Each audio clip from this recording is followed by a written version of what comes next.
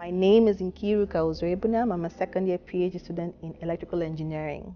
My research is in developing novel self-modeling behavioral therapies for young children on the autism spectrum using computer vision techniques, signal processing techniques, as well as privacy protection techniques.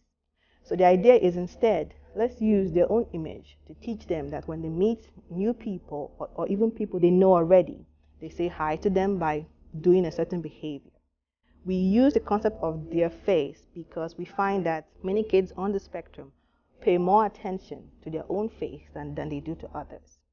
So the idea was to use their image to generate novel therapies that, that some psychologists, some therapists can use, or perhaps even parents can use in their day-to-day life with a young child on the spectrum.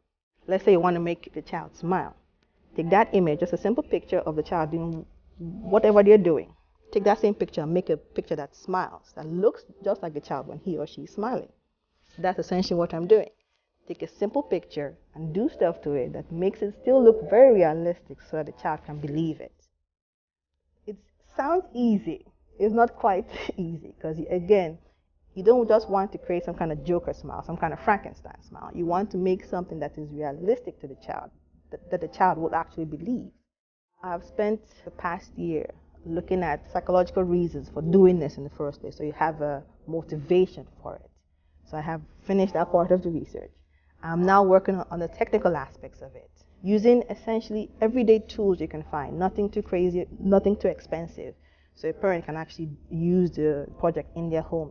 Uh, I want parents able to take it home, to work with it, for it to improve the lives of the kids and also the parents as well. My aim at the end of my remaining two or three years here is to make a system that parents can take home, can build, can modify, can make bigger as the years go by to suit themselves and to suit the child. I want to be able to go home and make change in Nigeria for young kids with autism who many times go undiagnosed, untreated, and many times mistreated back home.